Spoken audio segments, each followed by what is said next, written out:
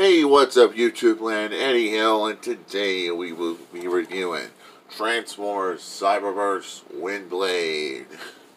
And here she is. Not a bad jet mode. I dig it. Paint on this jet. The cockpit, really good paint. Really good paint all through the figure. I appreciate that. It doesn't roll or anything much. But I dig it. Okay. Now for comparison, here she is next to the original Windblade from RID. Not a bad figure. I think they look great together. Of course, I think they look great together. As a reviewer. Say they look great with one another.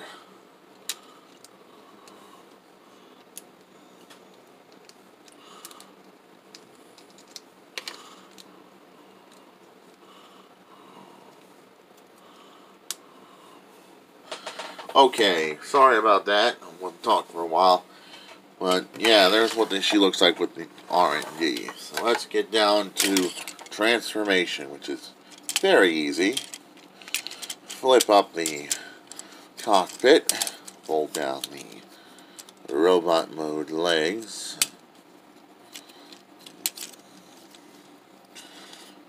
Flip in the toesies here around the feet. And there we have Cyberverse Windblade, which she looks really good. Now, for our comparison, we're going to compare her next to RID Windblade. And this is the only other Windblade I have. I never got around to getting the Generations Windblade or the Titan's Return one. I didn't I wasn't fond of them much. But these Windblades I've gotten from RID and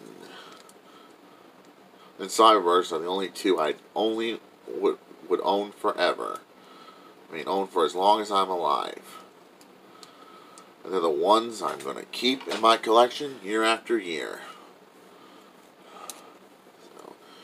So now for that comparison, here she is with my original Windblade in her robot mode. Really good paint on both of these figures. I dig them. So, let's take RID Windblade out of the review.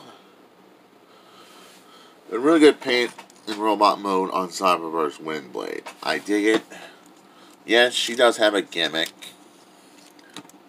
Yes, Robots in Disguise Windblade has a sword. I wish this one would they would include a sword with this one. Only problem I have with this figure. Would I recommend this figure? Highly recommend this Windblade. Where I got this Windblade was from Amazon. You can probably find this maybe in store like Walmart or Target.